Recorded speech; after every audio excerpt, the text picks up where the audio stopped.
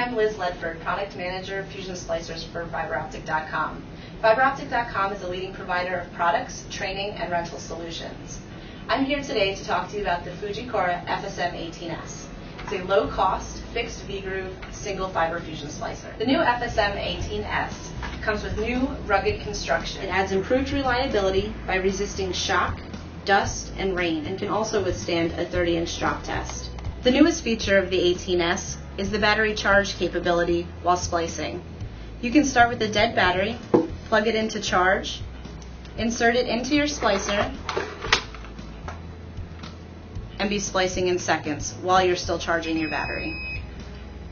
Software is included with this unit to allow users to download splice data and video images to a PC. Another feature of the 18S is the auto tube heater start. All you have to do is remove your fiber from the splice, insert it into the heater, push down on the bar, it closes and automatically starts heating. The heat time is about 30 seconds.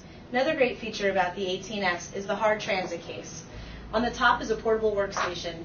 Unscrew it, slide it off, and you have a space to secure your splicer and workspace on either side. It can go anywhere with you. With the 18S, you have three purchasing options. The first option is the machine only. You'll receive the Fusion Splicer and only be able to run on AC power. The second option is the kit with the cleaver.